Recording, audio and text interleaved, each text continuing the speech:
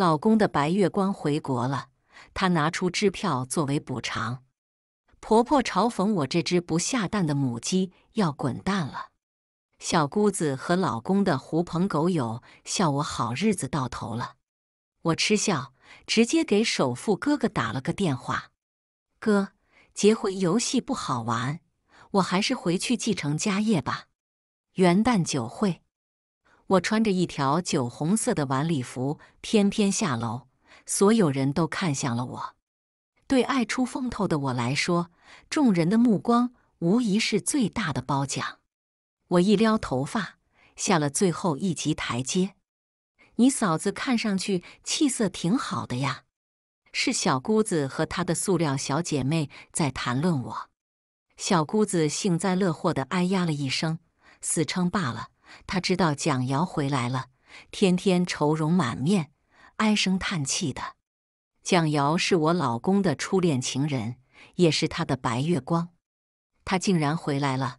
我走过去，拿起一杯香槟，刚要喝，耳边就又响起了婆婆的声音：“她就是一只不下蛋的母鸡，结婚都三年了，也没给我们家添个一儿半女的。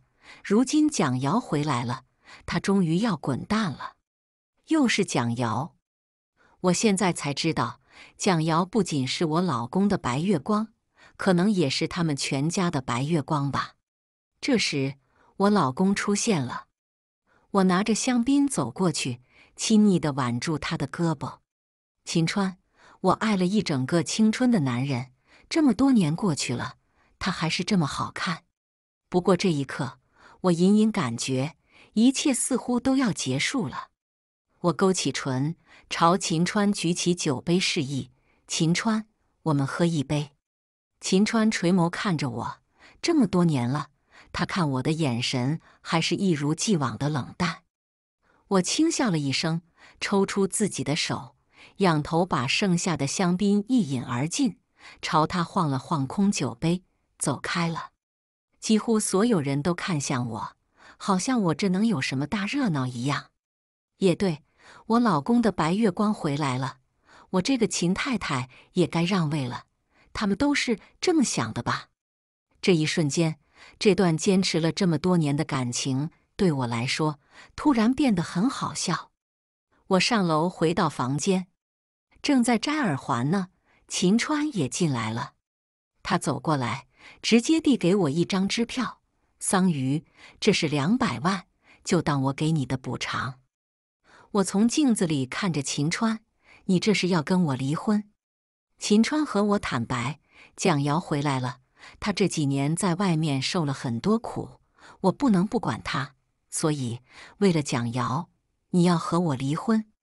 我打断他的话，秦川顿了一下，然后说：“是。”我摘下耳环放到梳妆台上，站起来转过身，行。似是没料到我会这么痛快答应离婚，秦川愣住了。其实也没什么，他既然不喜欢我，那我抓着他干什么？八年了，我努力过了，也没什么遗憾了。我拿着手机往外走，秦川在身后喊住了我：“桑榆，支票。”我回头看，冷笑了出来：“那点钱，你还是自己留着吧。”秦川。出了房间，拨通了我哥的电话。哥，结婚游戏不好玩，我还是回家继承家业吧。我和秦川结婚，其实是和我哥打的一个赌。一开始家里人怎么都不同意我和秦川在一起，因为他们都知道秦川不喜欢我。可是我爱他，爱到近乎魔怔的地步。可架不住我对秦川一心一意，非他不嫁。全家人都拗不过我，最后我哥说给我三年的时间，如果这三年我能让秦川死心塌地对我，他们就同意我和秦川在一起，否则就离婚。三年过去了，秦川不但对我没有死心塌地，还为了白月光要跟我离婚。这场游戏我输了，行，那就离婚呗。我回家继续走我的阳关道。秦川这么喜欢过独木桥，那就让他过好了。简单收拾一下东西，我走得干脆利落。看到我拎着行李箱，大家就什么都明白了。看来蒋瑶在秦川心里的地位还是无人能撼动啊！那当然了，蒋瑶多温柔啊，我们男人都喜欢这样的。啧啧，没想到桑榆的好日子这么快就到头了。过了三年的富太太生活，离开富豪老公以后，她可怎么办呢？也就对这群人来说，秦川算是富豪，对我，他还只是个穷光蛋呢。我在外面等了没多久，我哥就赶来了。走吧，剩下那些东西就不要了。我哥轻轻拍了拍我，妹，别难过。我淡淡一笑，我不难过，没什么好难过的。我努力过了，就算最后没成功，我也没有遗憾。人生那么丰富多彩，我没必要被这场不靠谱的爱情绊了一跤，就长跪不起。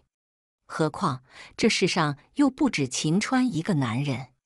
回到家，爸妈已经等了很久了。我妈拉着我都快哭了出来。你说说，你图什么？这几年受了这么多苦，闺女都回来了，别哭了，脱离那个苦海，以后就都是福了。我爸也忍不住掉泪了，是不是有点太夸张了？秦家还是有个几亿资产的。虽然在京都根本排不上号，但这三年来，秦川倒也没有缺我钱花。其实当年他之所以答应和我结婚，不过是因为蒋瑶离开了，他心灰意冷，觉得既然没了蒋瑶，那和谁结婚都是一样的。可能也正是因为这样，他觉得有愧于我，在金钱上对我十分大方。我哥小时候还被绑架过呢，所以家里人把我保护的特别好。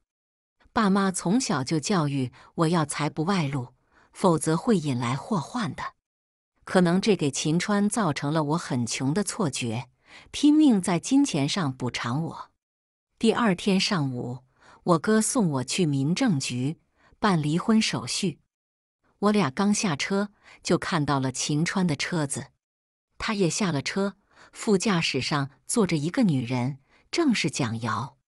说起来，我和蒋瑶还是同班同学。我走到秦川面前，走吧。秦川扫了眼我身后的那辆迈巴赫，微微眯了一下眼睛。他是谁？我勾唇浅笑，跟你没关系。秦川脸色极冷。桑榆，其实你早就想跟我离婚了，对吗？我对秦川的倒打一耙感到很恶心，没了耐心。快点进去吧。秦川又看了眼我哥的车子，站在原地没有动弹。怎么了？又不想离婚了？蒋瑶还在你车里等着呢。秦川幽暗的视线看着我，默了默，转身进去了。我跟着他进去，申请了离婚，冷静期一个月。出了民政局，我要上车，秦川却叫住了我。桑榆，如果两百万你嫌少，我可以给你加。你想要多少？我回头轻笑了一声。你那点钱还是留着娶媳妇吧。你其实并没有像表现出来的那么喜欢我，对吗？秦川突然问我。我和秦川结婚三年，他都没和我说过几句话。今天却和我说什么喜不喜欢，他不觉得很可笑吗？秦川，我之前对你的感情是真的，现在无感了也是真的，你还有什么疑问吗？秦川没再说话。我上车了，我哥问我，你到底看上他什么了？脸。我很诚实的回答。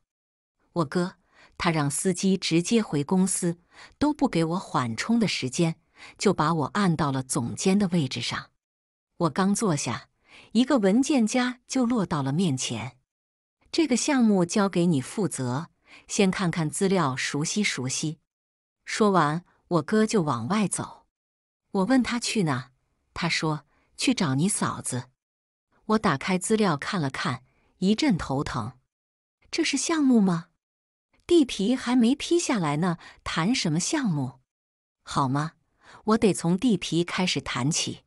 不过让我从头跟这个项目，我反而更有干劲儿。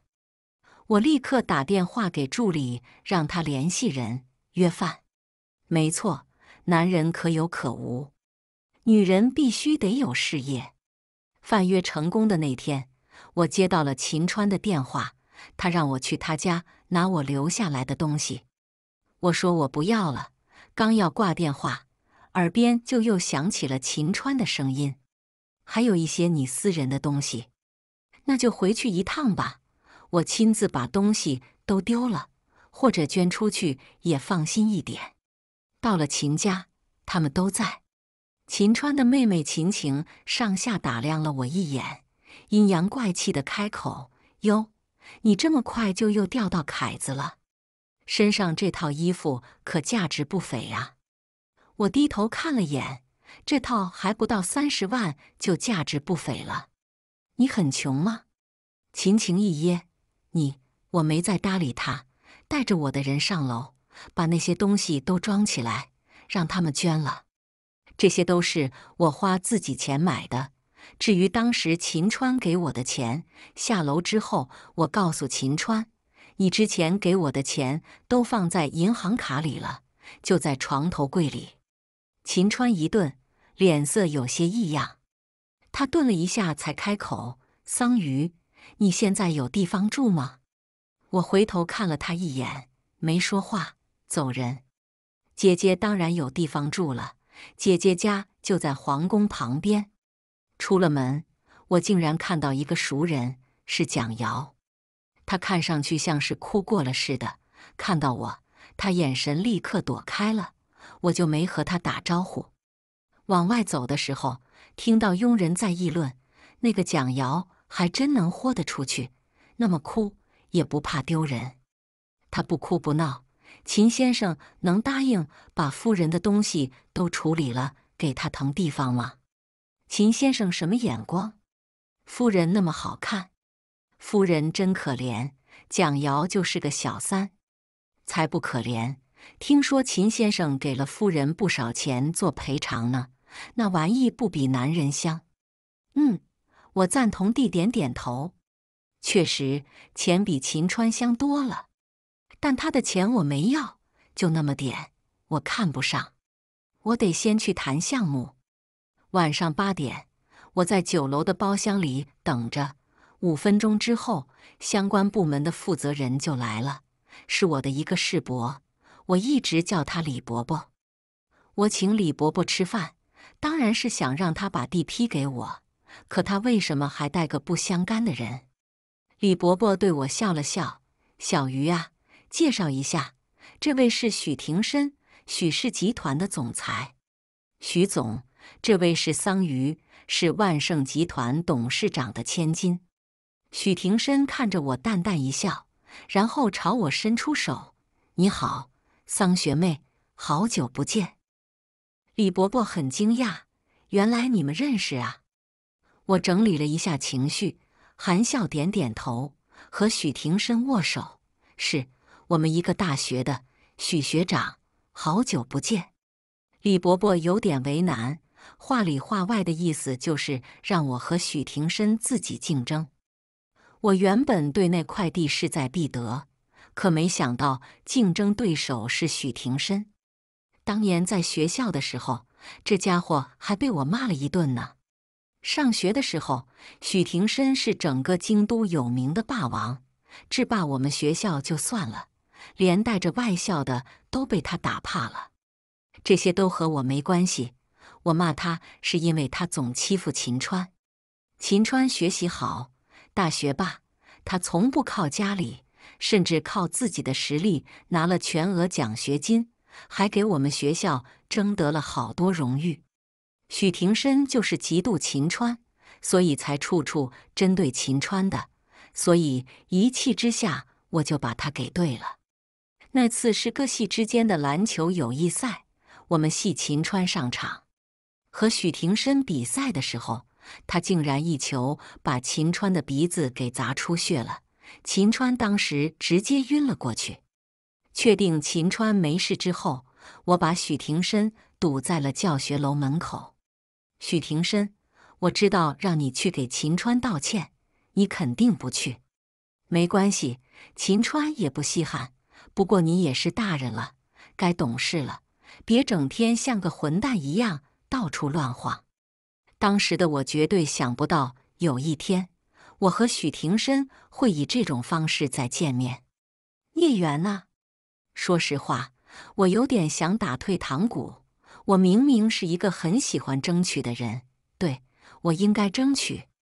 我站起来，给李伯伯倒了杯酒。李伯伯，我先敬你一杯。李伯伯喝了酒，然后笑了出来。小鱼呀。昨天听你爸说你回自家公司了，之前他还和我诉苦呢，说你哥忙自己的公司，你还不肯回去，他都要愁死了。如今你回来了，你爸可轻松了。我笑着点点头，嗯，以后我会接管公司，到时候还请李伯伯多多照顾呢。李伯伯扫了许廷深一眼，岔开话题。对了，小鱼。现在有男朋友没有？我感受到许廷深的目光。当时我在学校里追求秦川，人尽皆知，许廷深不可能不知道。为了不让许廷深和我作对，我决定跟秦川撇清关系。事实上，我们很快就要没关系了。现在正在办离婚手续呢，冷静期一个月。李伯伯惊讶之余点了点头，又岔开了话题。但其实没必要，婚姻并不是我的雷点。酒过三巡，开始谈正事了。许廷深原本家里就有钱，别看外面都说我哥是首富，可真正顶级的大佬是像许家这样的富豪榜，在人家眼里根本不算什么。所以我有点担心争不过许廷深，没想到许廷深却说：“既然桑学妹想要这块地，那我就退出。”这可是真的。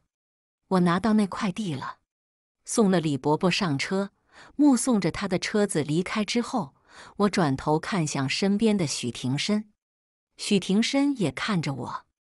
这么多年没见，他可比以前成熟儒雅多了。而且我突然发现，许廷深长得比秦川好看多了。当年我之所以讨厌他，一是他总处处针对秦川，是秦川的死对头；另一个原因就是他恶名在外吧。但仔细想想，许廷深和我一点私仇都没有。我勾唇笑得得体：“学长，谢谢你呀，改天请你吃饭。”许廷深意味深长一笑：“没什么，小事一桩。况且我只是失之东隅而已。”我很诧异，许廷深变化竟然这么大，也没记我当年对他的仇，还不跟我抢那块地。我是真的挺感谢他的。既然他都这么说了，那我就含笑朝他点点头，上车了。桑学妹，许廷深喊住了我。我转身看他。学长，还有事吗？许廷深拿出手机，加个微信。你不是要请我吃饭吗？我还以为不吃了呢。和许廷深加上微信之后，我就上车回家了。之后一直忙着项目的事情，其他事都被抛到脑后了。离婚的事情还是我妈提醒的我呢。我这才想起来，立刻给秦川发微信。约他明早民政局门口见。第二天依旧是我哥送我去的，他在车里没下车。秦川也到了，还有蒋瑶。这一次蒋瑶也下车了，他含笑朝我走来，整个人看上去神采奕奕的，可比之前神色好多了。桑榆，好久不见了。我勾了勾唇，也没多久，上个月我还见过你呢。蒋瑶，我又看向秦川，走吧，进去签字。走了两步，突然发现秦川没跟上来，回头见他还站在那里，我有点不耐烦了。秦川，你快点！蒋瑶小幅度推了秦川一下，秦川这才朝我走来，和我一起进了民政局。签字的时候，秦川的笔就握在手里，可却迟迟不动。我完全失去了耐心。秦川，你别逼我找人来按着你签字。秦川突然冷笑：“你就这么着急跟我离婚？这人脑子不正常吧？明明是他因为别的女人要和我离婚的，怎么我还非得痛哭流涕挽留他呗？”我打电话给我哥，叫几个人进来。秦川微微睁大双眸，随后咬牙点点头，签上了自己的名字，盖章。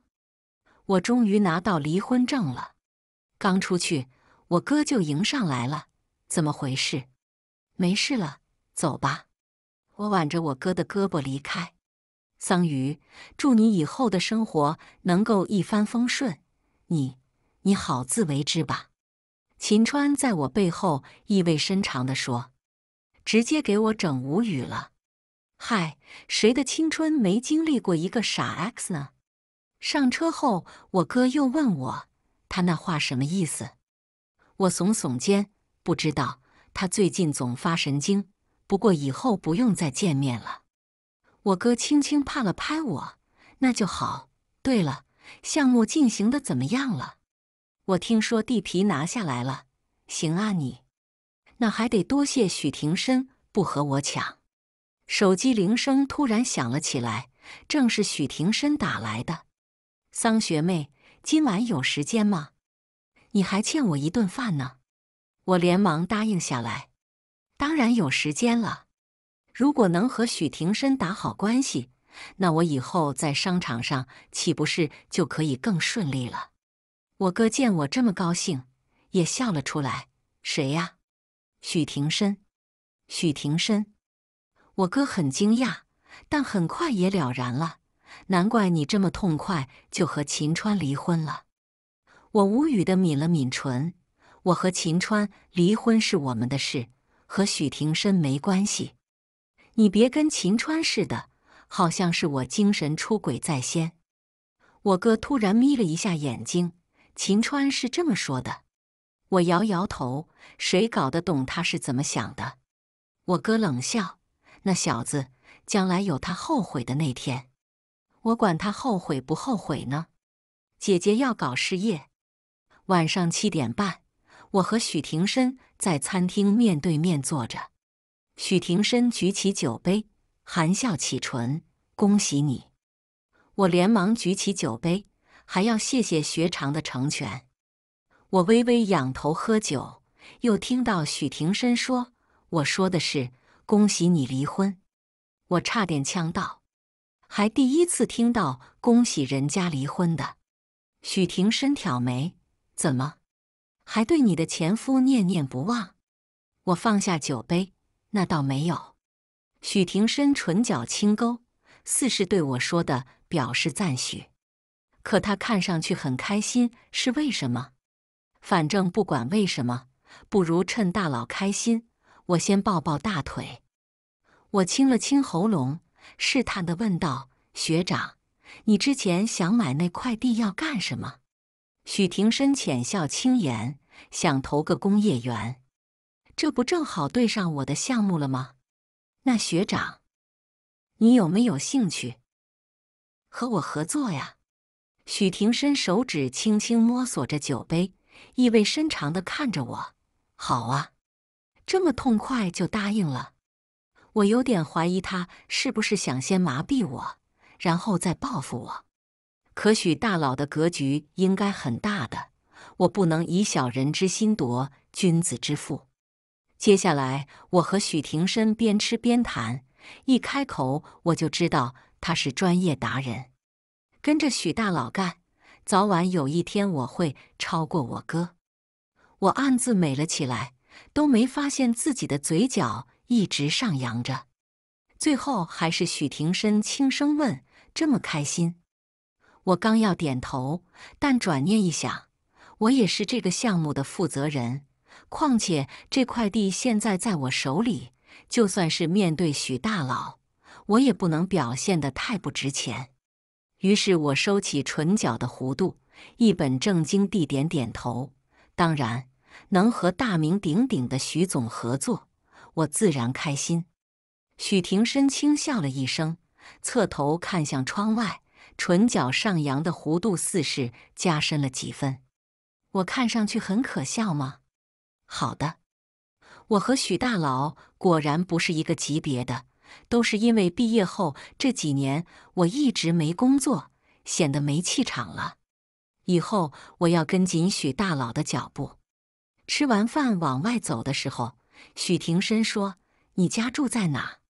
我送你。”不用了，学长，我司机就在外面了。别这么客气，都是老熟人，以后还要一起工作，你就叫我名字吧。许廷深低声提议：“叫他的名字，许廷深吗？还是廷深？”我有点叫不出口。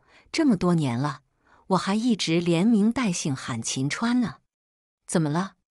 许廷深低笑，我我试探的张了张嘴，还是喊不出那两个字，有点羞耻。我还是叫你学长吧，也很亲切。许廷深轻点了一下头，那我就不客气了。桑桑，那两个字像在他的舌尖打转似的，怎么那么缱绻？最后还是许廷深送我回家的。车里，许廷深讲了许多，我坐在他身边，就像是被单独补课的小学生。大佬就是大佬，一出口格局就不一样。我忍不住盯着他看，自己都没发现。许廷深突然靠了过来，薄唇微起，轻轻喊我的名字：“桑桑。”我一激灵，猛地回过神来。脸颊发热啊！许廷深眉眼含笑，嗓音依旧低低的、轻轻的，听不到吗？那我靠近一点。没，没有。我又咽了口口水，我听得很清楚。嚯！我刚才是怎么了？好像被蛊惑了一样。到了我家门口，我邀请许廷深进去坐坐。许廷深温声婉拒。今天太晚了，改天吧。我正式上门拜访伯父伯母。好的，学长再见。我摆摆手。许廷深上车离开。我进了院子，越想越觉得不对劲。正式拜访伯父伯母，怎么说的像是要见家长一样？今天的许廷深真奇怪。回到卧室后，我发微信给未来的嫂子。也是我的闺蜜林曼音，茵茵，你还记得许廷深吗？过了一会，茵茵的视频邀请过来了。怎么突然想到许廷深了？茵茵问。他的身后，我哥来来回回晃悠，不知道在干什么。我往茵茵身后看，茵茵笑了笑：“你哥在下厨呢，手忙脚乱的，不知道能不能吃。”我哥在家从来不下厨，在媳妇那里就这么听话。那我是不是打扰你俩了？茵茵温婉一笑。我问你怎么突然想到许廷深了？我把和许廷深重逢以来到合作的事情都说了一遍。茵茵突然笑了出来，我有点发懵。你笑什么？我觉得呀，你有新的桃花了。我哥这时凑了过来，什么桃花？茵茵侧头看他，许廷深。我哥的眉头顿时皱了起来。许廷深，还是算了。你刚出了秦川的坑，别又跳进另一个坑里了。茵茵嗔了我哥一眼，合着全天下就只有你桑林一个男人不是坑吗？我也是坑，让你陷进来，一辈子都出不去。我哥说完，低头在茵茵的唇上落下了一吻。我哥可真恶心！我立刻挂断视频。很快，我哥的电话就过来了。他在电话里说：“你和许廷深合作，我不管，这是好事。但是许廷深那个人和他的名字一样，城府颇深。妹，看人不能只看脸。你在秦川那吃的亏还不够吗？”说的我好像花痴一样。地皮完全下来那天。我和许廷深一起过去视察，快到中午了，许廷深问我想吃什么，我很开心。一是地皮很顺利的下来了，二是这次和许廷深合作，我真的能够学到很多东西，而且他那边的人脉比我广一些，这方面我也能借到点光。于是我反问他：“学长，你想吃什么？”许廷深低笑：“你请。”当然。半个小时之后，餐厅里点完菜，许廷深突然喊我的名字，桑桑。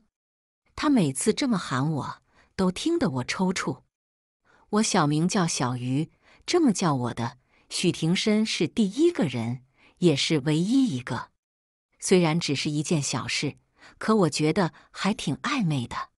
我抬头看他，那边马上就要开工了，我们要盯紧一点。你最近还要出门吗？我收回那点小心思，摇摇头。暂时我手里就只负责这一个项目，不出门。好，那我们随时联系，交换意见。许廷深说话的时候，语调缱绻婉转，像带着钩子似的。昔日学校里的霸王，为什么变成这样了？学长，我能问你一个私人的问题吗？许婷深凝着我，眸色深邃。可以，不过要交换。果然是生意人，一点都不肯吃亏。我默默清了清喉咙，就是想问问你，你现在有女朋友吗？许廷深慵懒一笑：“怎么，想追我？没有，没有。”我连连摆手，这可是个天大的误会。我只是想抱紧许大佬的大腿而已。可没有别的心思。不过现在许廷深确实是站在金字塔顶端的男人，不管是家境条件还是个人能力，都很吸引人。我只是八卦一下而已。没有，许廷深回答。我还挺意外的。许廷深年纪也不小了，没有女朋友，难道是因为一心都扑在工作上了吗？我现在也是这个状态。因为谈了一些私事，我觉得我和他之间的距离仿佛拉近了一些，似乎我还欠许廷深一个道歉。学长，当年我跟你说的那些话，抱歉。许廷深眉梢轻挑，什么话？算了，那我还是不要提醒他好了。总之我很抱歉，可也不能提醒大佬我干的好事啊。我笑着摇摇头。岔开话题，以前上学的时候，我就没看到你和谁交往过。学长，你真的没有喜欢的人吗？许廷深盯着我，有啊，有一个，从大学那会到现在，一直都很喜欢。我微微张大嘴巴，许廷深竟然这么深情。那你们在一起了吗？许廷深还是盯着我看，快了，真的。恭喜你啊，学长！我是真心替许廷深高兴的，可他的脸色怎么还黑了？我也没说错话呀。许廷深慵懒地靠在椅背上，换我问你了。我点点头。你和秦川为什么离婚？我淡淡一笑，他不喜欢我，就离婚了呗。那你还喜欢他吗？不喜欢了。我很清楚我在说什么。其实说起来，我对秦川的感情也不是在他提出离婚的那一瞬间就消失的。从十七岁那年对秦川一见钟情，到今年二十五岁和秦川离婚，长达八年的时光里，我的爱是在他的冷漠里一点一点被消耗殆尽了。一直以来的爱而不得，对我来说就像背着一道沉重的枷锁。所以在彻底放手之后，我才会如此轻松。许廷深脸色逐渐好转，隐隐有了笑意。你值得更好的，他配不上你。工业园那边如火如荼的施工了，许廷深三天两头约我过去视察。我不是很懂，现在监工这么严谨吗？今天又去那看了看，之后许廷深说请我吃饭。最近我们都在一起吃了好多顿饭了。回家后，茵茵来了，见许廷深送我回来，打趣八卦道：“你最近和许廷深见面的次数似乎很频繁啊。我们在合作一个项目，当然要经常见面了。可是那块地皮，许廷深明明可以自己拿下呀。”茵茵这话倒是提醒了我。确实，如果真要和许廷深争，我百分之九十是争不过他的。当时许廷深还说了句什么来着？我脑袋突然有根筋像是爆开了一般，闪现过什么？茵茵，他当说他没损失什么，失之东隅而已。茵茵突然倒吸了一口气，好像发现了什么大秘密似的。许廷深喜欢你，我也是这么觉得的。一切都好像说得通了。他把地皮让给我，还跟我合作。三天两头约我去视察，没视察多大会就带我去吃饭了。他还叫桑桑，一切都是因为他那句“失之东隅”而已。“失之东隅”后面还有四个字“收之桑榆”。我当时根本没往这方面想，而现在我心如鹿撞，迎上茵茵投过来的暧昧视线，忍不住笑了出来。可是许廷深有喜欢的人了呀！我摇摇头，清空了脑子里那些乱七八糟的想法。误会了，许廷深有喜欢的人了，而且他们很快就会在一起了，是吗？那个人是谁？茵茵含笑问我。应该也是咱们学校的吧？他说，从大学那会到现在，他一直都很喜欢那个人。茵茵眼里溢出深深的笑意，这么痴情啊？那还真不是很喜欢，而是他非常非常爱那个人。是啊，他肯定非常非常爱那个女生。那个女生真幸福，有人对她这么长情。当然，这份感情是我羡慕不来的。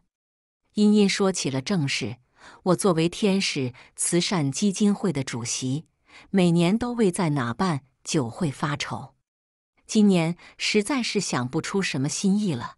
我想在咱们的母校办一场校友会，然后募捐，可以呀，正好看看老同学。我十分赞同这个想法，得到我的支持，茵茵也很开心。那好，那许廷深那边就交给你了，到时候你帮我把邀请函交给他。茵茵很快就跟学校沟通好了，慈善酒会定在七月二号这一天晚上，正好是周六，大家凑在一起放松热闹一番。我提前一个礼拜就选好礼服了，是我哥半年前在 GK 给我定制的。我正站在镜子面前自我欣赏呢，我哥在门外催促：“妹，快点，今天你嫂子主场。”你早点过去看看，有什么能帮上忙的。自从我哥喜欢上茵茵之后，我这个亲妹妹在他心中的地位就直线下降。可我还是他们的红娘呀。我提着裙摆出去，你怎么没和茵茵一起去？我哥拽着我的手腕快步走。你嫂子已经到了，快点！我都好长时间没回学校了，学校变化不大。就是又多了几栋大楼。下了车之后，我哥指着不远处的那栋楼，那是许廷深捐的。是就是呗。我们两个往行政楼里面走。我哥说：“我听你嫂子说了，许廷深对你有意思。”没有，他有喜欢的人，喜欢好多年了。我哥突然停了下来。秦川和蒋瑶今晚也在，我并不意外。毕竟大家都是校友，我哥看了我一会，笑了出来。行，进去吧。我跟上他的脚步。你笑什么？看你彻底放下秦川了，哥为你开心。我早就彻底放下他了，好不好？到了宴会厅门口，我挽住我哥的胳膊。嫂子今晚肯定很忙，我勉强做你的女伴吧。我哥扶开我的手，不用了。我去找茵茵，这个人真是的，就把我自己撂在这呀。我连忙跟上去，那我跟你一起。我自己没意思。我哥张嘴要说什么，我突然又听到有人喊我的名字，桑榆。循声看去，就看到蒋瑶挽着秦川的胳膊过来了。还别说，这两人也算是一对璧人了，还挺配的。蒋瑶看了眼我哥，又上下打量了我一圈。桑榆，这是你的男朋友吗？介绍一下吧。没这个必要吧？又不是一个圈子的，有什么好介绍的？秦川已经上前了，向我哥伸出手：“你好。”秦川，我哥周身散发着寒意，我知道他讨厌秦川。他没有伸出手，只是冷冷一笑：“你好。”秦川神色顿了顿，默默收回手，脸色阴沉。蒋瑶又看向我：“桑榆，你这件礼服好漂亮啊，什么牌子的？”我说了，蒋瑶笑着点了点头：“啊，没听过这个牌子。”不过确实很漂亮，但现在的小牌子真是越来越花俏浮夸了，可能是为了吸引眼球吧。我反而喜欢简约低调一点的款式。我让我哥先去找茵茵，反正我也没事，就跟他们聊聊，图一乐嘛。你身上这件是迪奥的最新款吧？嗯，确实挺低调的，慈善晚宴嘛。穿普通的成衣款是应该的，我这属于喧宾夺主了。主是我嫂子，我爱怎么夺就怎么夺。蒋瑶轻笑：“是呀，家里还有好多的香奈儿、LV，我都没穿，这件是最低调的。”秦川一直没说话，就那么看着我。他看我的眼神，怎么感觉有点内疚呢？我看上去很可怜吗？秦川突然轻轻扶开了蒋瑶的手，瑶瑶，我和桑榆说几句话，一会就回来。蒋瑶大方一笑，嗯，我等你。秦川走到我身边，你跟我来。我跟着他走到一个角落里，秦川机不可闻地叹了口气：“你最近怎么样？”“很好啊。”“钱够花吗？”不等我开口，秦川就又接着说道。桑榆，我没有别的意思，只是希望你过得好。我看上去像是过得不好吗？我只觉得好笑。省省吧，秦川，你的关心应该都给蒋瑶留着，我不稀罕。我要走，秦川却一把抓住了我的胳膊。桑榆，你为什么不肯收下我的钱？我为什么要收下你的钱？秦川一脸凝重。我记得你之前很喜欢买衣服，可是你现在他对你不好吗？好吧，秦川是个直男，不懂女人都喜欢什么牌子的衣服很正常。他可能是刚才听蒋瑶说我穿不起迪奥的衣服，只能穿小牌子的，觉得过意不去吧。我很好，好的不得了。我扶开他的手，回到人群之中。蒋瑶朝我招手，桑榆，我过去。他亲昵的挽着手给我介绍：“这是咱们的学姐林寒，是大齐集团总裁的千金。”我微微颔首：“学姐你好，我是桑榆。”桑榆，林寒重复了一遍我的名字。莫不是学姐你也喜欢迪奥的衣服吗？蒋瑶含笑开口：“你身上这件。”我就很喜欢，只不过没货了，我没买到，是吗？蒋瑶点点头，是啊。不过桑榆身上这件礼服也很漂亮，虽然是个小牌子，做工看上去还挺不错的。我是该笑呢，还是该笑呢？林寒轻轻摸了摸我身上的礼服，确实很漂亮，没见过，是哪家定制的？我说了名字。林寒忽地轻笑了出来，扫了蒋瑶一眼。蒋学妹平时对服饰没有研究吗？蒋瑶有些兴奋，还算是有些研究的，像是迪奥啊、香奈儿啊，我最近都订了，那边也陆陆续续会送到我家来。我和林寒对视了一眼，林寒笑着摇摇头：“蒋学妹是不是就听过这几个牌子啊？” G 是 Baker 不知道，那 Alisab 呢？Zaharad。蒋瑶唇边笑容一顿，神色也僵了僵。都没听过吗？蒋瑶尴尬的笑了笑。听过，当然听过。别只是听说呀，你也该好好了解一下。这些都是入门级的。林寒说完，又问我：“桑学妹，你喜欢哪个牌子？现在出国还要隔离，要不然咱们可以约着一起去看时装周。”林寒身在名媛圈，是很看不上蒋瑶这样的人的。蒋瑶也是自取其辱。我说了自己比较喜欢的几个牌子，我想起来了。你十六岁受邀参加巴黎慈善舞会，就穿的那个牌子的，我看过照片。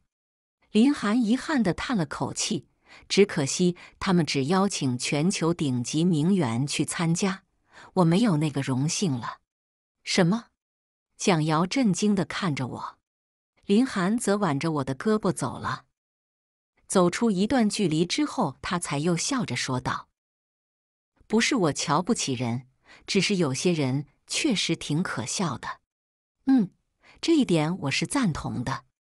我没有因为所在的圈子而觉得高人一等，可蒋瑶这种跳梁小丑的举动确实挺令人捧腹的。刚才谢谢你啊！我知道林寒一直在帮我对蒋瑶。林寒微微一笑，不用客气。如今有机会跟你交个朋友，是我的荣幸。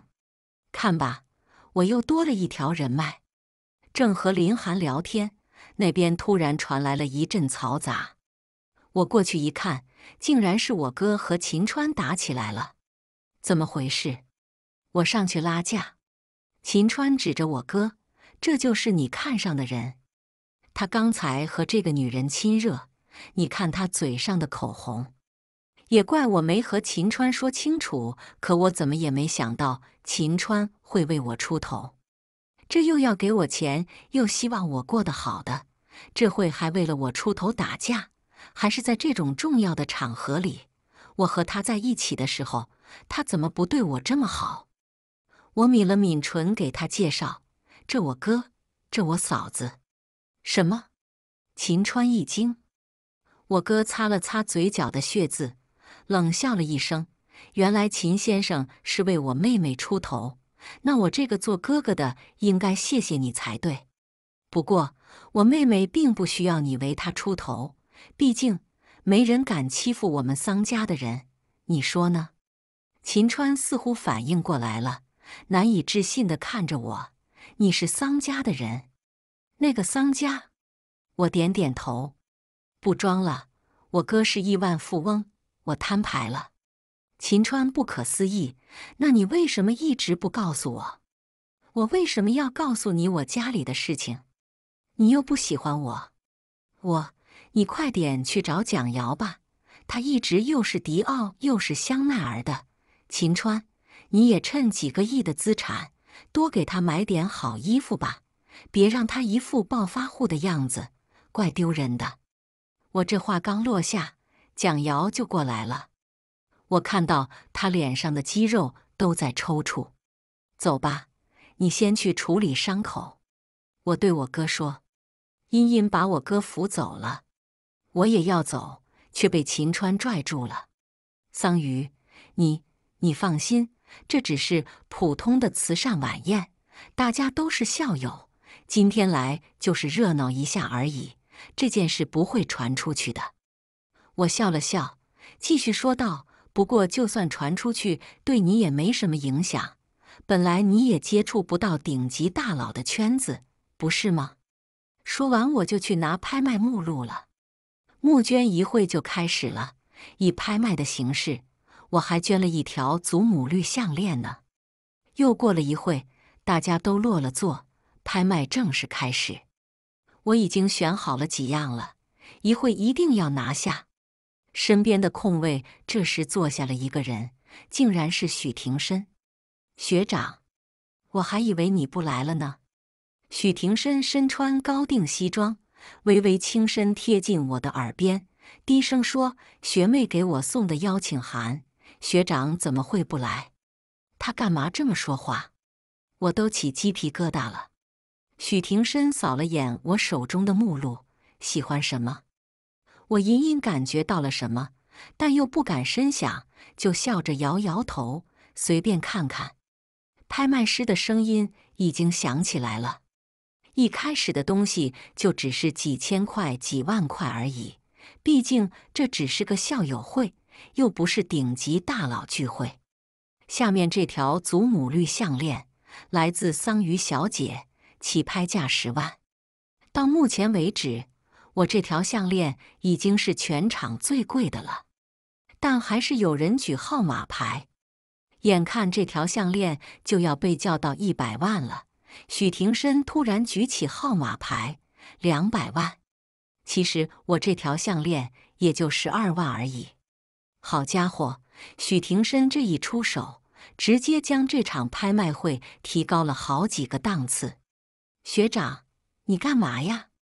许廷深挑眉，眉宇间风流邪肆。我喜欢呢。况且学妹的项链对我来说是无价的。两百万，我已经占了很大的便宜了。我余光左右看了看，好了，我成为全场的焦点了。我是爱出风头，可是许廷深给我带来的风头，吹得我有点腿软。到了我喜欢的那个玉烟斗了，起拍价是一千块钱。我立刻举号码牌，可许廷深也跟着举牌。从一开始。这个玉烟斗就只有许廷深在跟我较劲。他虽然是顶级大佬，但也不能夺人所爱呀。我不服气，一个一千块钱的玉烟斗，最后被许廷深叫价到了十万块钱。他是不是吃饱了撑的？许廷深，你故意的是不是？许廷深轻笑，心情很愉悦的样子。桑学妹终于叫我的名字了。就叫个名字而已，怎么她说出来就那么羞耻？我不要了，十万一次，十万两次，十万三次，成交！我宣布，我讨厌死许廷深了。我拿出手机给茵茵发微信：“那个十八世纪的床边小桌，你帮我拍。要是被许廷深知道我还喜欢那个小桌子，他一定会跟我抢的。这个贱男人！”许廷深低低的问我：“生气了没有？”好吧，我的语气出卖了我。毕竟想刀一个人的心思是藏不住的。呜呜呜！我的玉烟斗，最终那个床边小桌被茵茵拿下了。耶，是我的了！我一阵得意，偷偷告诉许廷深，其实那个小桌是我让茵茵拍下来的。哼！魔高一尺，道高一丈。许廷深顿了一下，低低笑了出来。他笑得都快胸腔共鸣了。有什么好笑的？你笑什么？许廷深眼唇抑制住了笑意，这才看向我，就是觉得桑学妹太可爱了。我再一次宣布，我讨厌许廷深。拍卖会结束了，因为许廷深和我哥两位大佬。这场拍卖会一共募捐到了快五千万了，这五千万都将用来资助本校的学生和专业研究项目。许庭深很快就被人围住了。庭深，知道你有钱，可咱们都是老同学，你也用不着这么显摆吧？我凑过去，就是。许庭深笑了笑，没办法，为博得美人一笑。花多少钱都是值得的，他说着，朝我投来了一抹意味不明的眼神。我一愣，他口中的那个美人，该不会就是我吧？大家哈哈大笑。庭深看上哪家千金了？长得肯定跟仙女似的，要不然入不了我们庭深的眼啊。许庭深盯着我，点了一下头，嗯，确实是仙女。我的脸颊开始发烫，完蛋了，我可能要自作多情了。我赶紧走人，结果刚走没几步就被秦川拽走了。他把我拽到外面，你喜欢许廷深？我一把甩开他，跟你有什么关系？桑榆，你明知道我和他是死对头，你为什么还要跟他搅和在一起？什么叫搅和在一起？我们男未婚女未嫁，就算真的在一起了，那也是合乎情理的，你管得着吗？一道懒洋洋的声音突然传来，不仅合乎情理，还天经地义。我回头就看到许廷深走了过来，他的身后蒋瑶也跟出来了。阿川，蒋瑶大步过来，发生什么事了吗？秦川死死盯着许廷深不说话。蒋瑶脸上闪过愤怒，瞪着我：“桑榆，你和秦川都离婚了，你再怎么纠缠他也没有意义了。我纠缠秦川，真是搞笑。”我还没说你是小三呢，你反倒来指责我，什么小三？你说话不要这么难听。蒋瑶低头啜泣，像受了天大的委屈似的，真恶心。他还是朵白莲花。我说的是事实。我和秦川结婚这三年，你敢说你们没有偷偷见过面？见了面，你们都干了什么？不用我说了吧，桑榆。我只是秦川刚开口，我就打断了他。还有你，秦川，我原本想我们好聚好散，但看来你并不是这么想的。如果你真敢跟我作对，那正好，我对渣男是不会手下留情的。说完，就越过那两个人往外走。刚走到我哥的车边，身后就传来了许廷深的声音：“桑学妹，需要帮忙吗？”收拾渣男小三，我也挺有兴趣的。我转身瞪着他：“你和他们一样，都只会欺负我。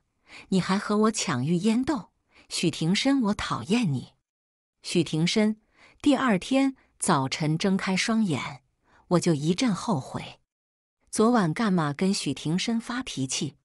其实他就抢了我一个玉烟斗而已，比秦川和蒋瑶好多了。我是不是把许大佬给得罪了呀？我叹了口气，拿过手机，许廷深竟然给我发微信了。明天去施工现场视察，十点半到，又视察一个礼拜，能视察三四次，包工头都快烦死了吧？我立刻回复他：“好的。”我下床收拾了好一会，下去吃饭了。餐桌上。我爸一边看报纸一边问我：“你和许廷深最近怎么样了？什么怎么样了？”我疑惑：“我和他能怎么样？”我爸放下报纸：“项目的事情，好的，这才刚开始，挺顺利的，暂时没发现什么问题。”我爸欣慰的点点头，跟我妈说：“咱们宝贝女儿现在越来越厉害了，等这个项目竣工了。”那咱女儿也算是彻底在公司站稳脚步了。我看谁还敢说咱闺女是花瓶？我知道公司有人不服气我，说我就只有出身和外貌而已。我爸说的没错，我得把这个项目好好做下去。我到了施工现场，许廷深那张俊脸出现在我的眼前，眉眼含笑，还生气呢？没有。我说的是实话，秦川和蒋瑶不值得我生气。至于许廷深，我才不要和他闹别扭呢。谁能拒绝得了顶级大佬的诱惑呢？真没有。许廷深看了眼腕表，那走吧，请你吃饭。怎么又吃饭？你还没视察呢。许廷深挑眉，我不说视察，你能出来见我吗？我又有点发懵了，他最近总是说这样的话，让我不得不多想，却又不想自作多情。再说了，他不是有喜欢的人了吗？我有点生气了，转身往车边走。许婷深大步追上来，在我的面前拦住我：“怎么又生气了？还是因为那个玉烟豆？”他笑了出来，拉起我的手。另一只手从背后拿出一个精致的小盒子，放到我手上。我打开看了一眼，正是昨天在慈善酒会上看上的那个玉烟斗。你这是什么意思？许廷深原本为博得美人一笑，但现在看来，我似乎把美人惹生气了。我就知道那个美人是我，我本来就是美人。不过这玉烟斗我可不会轻易就接受。给你，我不要。我傲娇了一把。许廷深低低失笑：“真不要？”我扬起下巴看向别处，说：“不要就不要。”许廷深啧了一声：“行，看来玉烟斗是没用了。既然如此，那我只能以身相许了。”我确定了一件事情：许廷深喜欢我。可是我曾经还因为秦川对过他呢。茵茵像是突然想到了什么似的：“你说许廷深为什么一直针对秦川呢？”他这么一问。我也有点反应过来了，那你喜欢他吗？茵茵问。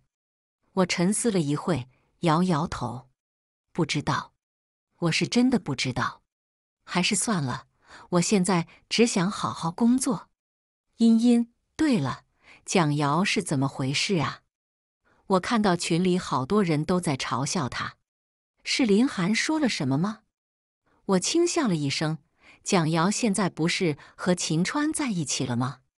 生活档次可能提高了点。酒会上嘲笑我身上的礼服是小牌子，没有他的迪奥高级。茵茵莞尔一笑，我觉得他像我刚跟你哥在一起的时候一样，什么都不知道。你们这个圈子太难融进来了。你和蒋瑶才不一样呢，况且你根本不用硬融，他们巴不得拉你进来呢。茵茵可从来没有因为和我哥在一起就不知天高地厚了，哪里像蒋瑶，整个一暴发户心态。我的手机突然响了一声，是许廷深发来的微信。晚上一起吃饭？不去。许廷深，那桑学妹要怎样才肯赏脸跟我吃顿饭呢？嗯，他既然这么问了，那就别怪我端架子了。让本小姐想想吧，想好了再告诉你。许廷深发来了一个流泪的表情，我伤心了，油嘴滑舌。我把手机丢到一边，继续跟茵茵聊天。晚上我哥回来，给我俩做了一顿大餐。我又是借着茵茵的光，才尝到了我哥的厨艺。吃完饭，茵茵说：“今晚别走了，太晚了。”我盘腿坐在沙发上翻看时尚杂志。我本来也没打算走。我哥，你住楼下？真是我亲哥。手机又响了一声，还是许廷深发来的微信，是一张图片，一份鱼排，一杯香槟。你不跟我吃饭，我只能简单凑合一顿了。没胃口。哎呦，这个人真是的。没胃口还喝香槟？许廷深，你来，我把珍藏拿出来，随便你喝，随便喝就喝醉了。许廷深，正好，正好个屁！我才不理他了。过了一会，许婷身为发来一条消息，生气了，继续不理他。他直接打了电话过来，我挂断，把他拉黑。许婷深拉黑我。我把手机放到一边，继续看杂志。手机就隔一会响一声，他可真是闲。直到我上床要睡觉了，我才又点开他的微信。你那条祖母绿项链还在我这了，什么时候来取？明天去视察。怎么不理我？还在生气？他陆陆续续给我发了好多消息，最后一条是晚安。我锁屏，把手机放到一边，关了灯。黑夜里，我的嘴角忍不住上扬。许廷深是在追我吧？第二天，我直接去了公司。期间，许廷深又发来了好多的微信给我，都被我忽略了。没想到会接到秦川的电话，因为在开会，所以我直接挂断了。开完会的半个多小时之后，秦川又打了一通电话过来。这一次我接了。秦川在电话里说：“桑榆，能见个面吗？”我一边翻看策划书，一边说：“你放心吧，只要你以后管好蒋瑶，也别再来烦我，我是不会把你怎样的。”秦川沉默了几秒钟，声音深沉了几分。我只想当面跟你说清楚一些事情。我不解，我们还有什么事情没说清楚吗？我怎么不知道？见面说行吗？可我不想见你。我直接挂断电话。许廷深的微信又过来了。我买了两张电影票，你什么时候下班？我去接你。什么吗？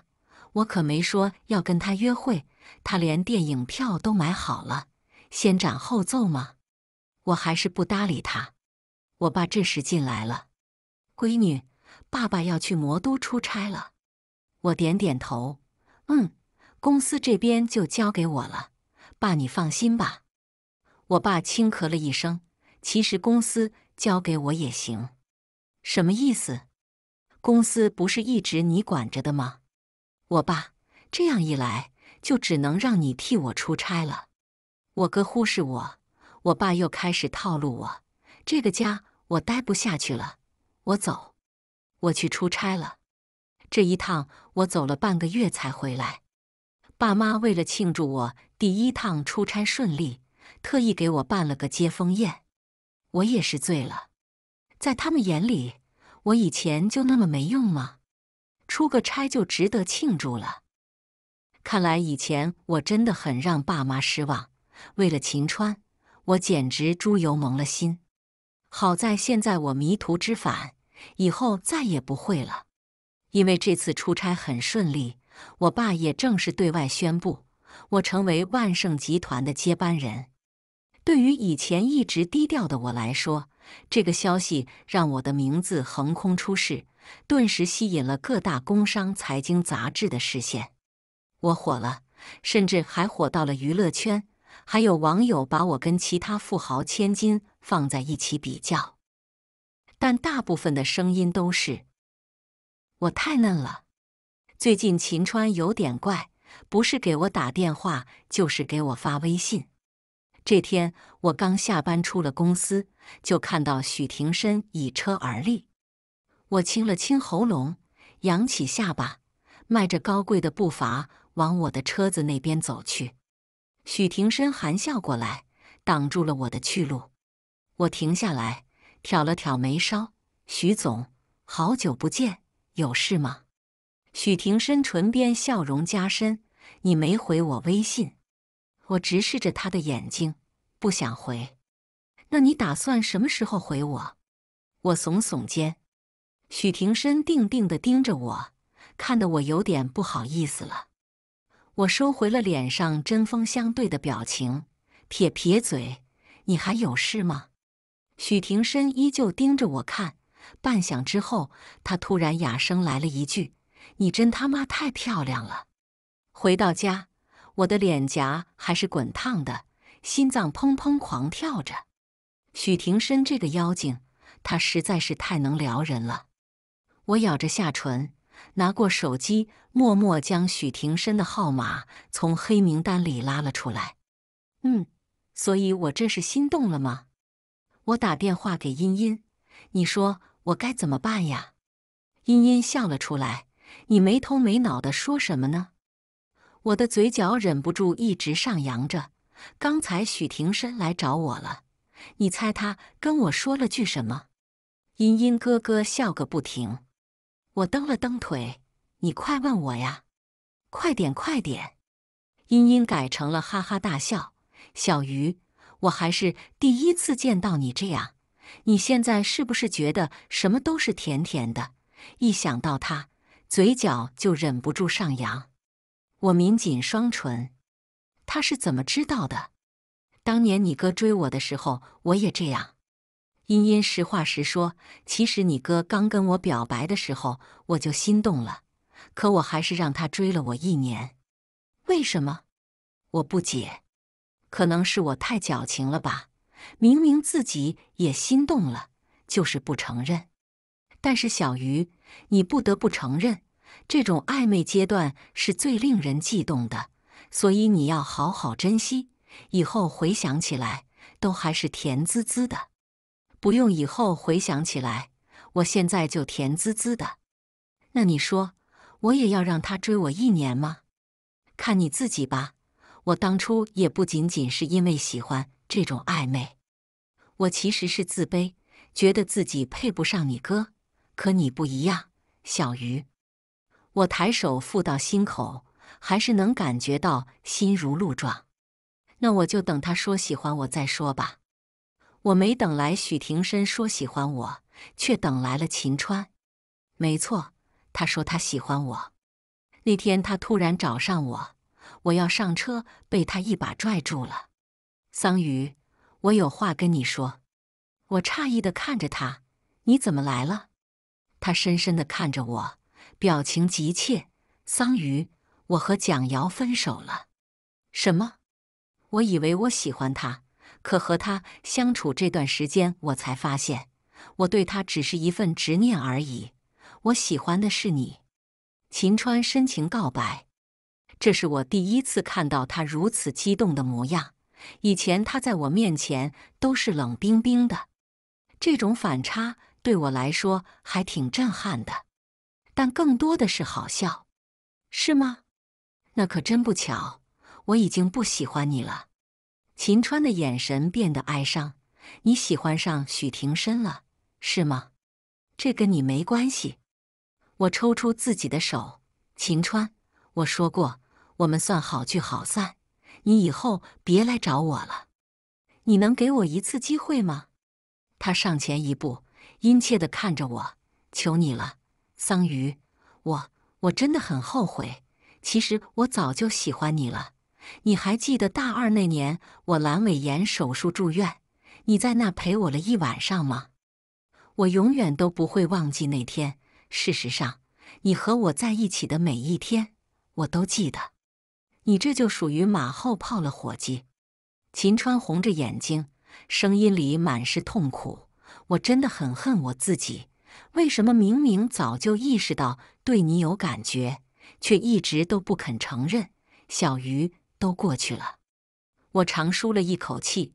秦川，我们不可能了。秦川突如其来的告白给我带来了太大的震撼。我爱了一整个青春的人突然告诉我，他也爱我。我突然很想笑，或许这就是天意弄人吧。我不想跟秦川做敌人。因为那否定了我曾经的真心，我的付出。可我是真的不爱他了，真的放下了。秦川，再见吧，也再见了，我的青春。等下，我现在也才二十五岁，还算青春着呢。拒绝了秦川之后，我一身轻松，打电话约茵茵出来吃饭。之后，我和他一起回家了。快到八点的时候。我哥突然给我发来了一条视频，我点来一看，只见两个人厮打在一起。须臾我才看清楚，是许廷深和秦川。许廷深可是曾经的校霸，没几下就将秦川打倒在地了。他指着秦川：“你特么吃回头草，你还有理了？”秦川擦了擦嘴角的血：“小鱼喜欢我，他爱了我那么多年。”我不相信他对我一点感情都没有了。视频到这里就结束了。我看得出来，他们打架的地方就是茵茵家楼下。这两个男人竟然跑着来打架，幼稚死算了。过了一会，我哥回来了。他们还在打吗？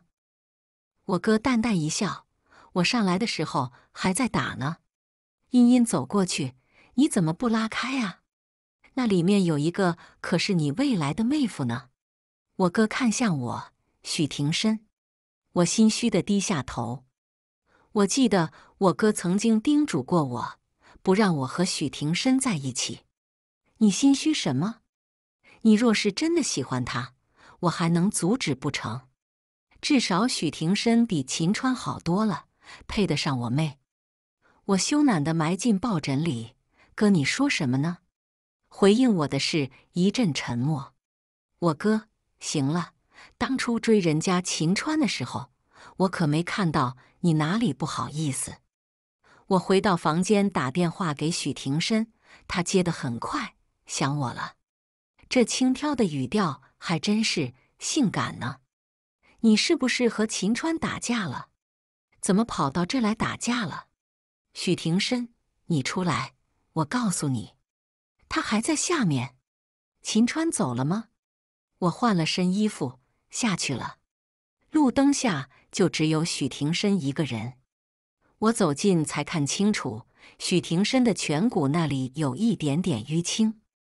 你就受这点伤？嗯。他突然把我拽进他怀里，低头重重吻了下来。我挣扎不开，心跳加速，双腿发软。许久之后，许廷深才放开我，他的声音都沙哑了：“桑桑，我等不及了。你打我也好，或者让我追你一辈子。”但我要提前行使丈夫的权利，因为你一定是我的真正的霸道总裁。果然名不虚传。好吧，那我就让你一直追我。许廷深，我笑了出来，然后去茵茵那里拿了些药膏下来，给许廷深处理了一下伤口，就让他回去了。躺在床上的时候，他给我发来了一条微信：“老婆，我爱你。”终于表白了，可谁是他老婆？许廷深，我很不好追的，你且追着吧。第二天洗漱照镜子的时候，我发现镜子里的自己嘴角一直上扬着，我好像也喜欢上许廷深了。好吧，今天就去陪他视察好了。可我却接到了蒋瑶的电话，他约我见面。一见面。蒋瑶就抓着我，哭得梨花带雨的。桑榆，你什么都有了，不要跟我抢秦川了，好不好？我求求你了。我推开蒋瑶的手，秦川我不要了，给你吧。你有本事就抓住他，没本事也和我无关。我说完就越过他走了。身后又传来了蒋瑶的哭声。桑榆，你只是命好而已。其实你也没什么了不起的，我不置可否，但心里是承认的。我命好，会投胎，可那又能怎样嗯？这不代表他们就能随便伤害我。我上了车，直奔许廷深的公司。许廷深，我现在要你陪我去视察。许廷深笑得温柔，朝我伸出手，请，我的女王殿下。我满意地点点头。本女王现在宣布，正式允许许廷深追我。一年半后，我的第一个项目竣工了，工业园招商引资也特别顺利。我也正式接管了我们家的企业。有记者采访我：“桑总，有人说你一直靠家里，靠男人，你对此有什么说法？”我对着镜头微微扬起下巴，本女王绝不低头。我出身好，这也算是我实力的一部分。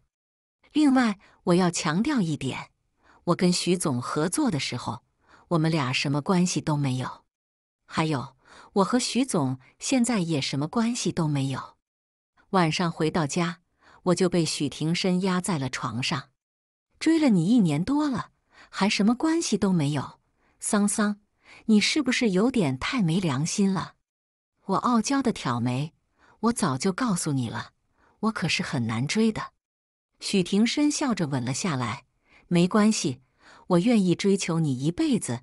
那什么时候去领证？明天吧。好，领完证我继续追求你。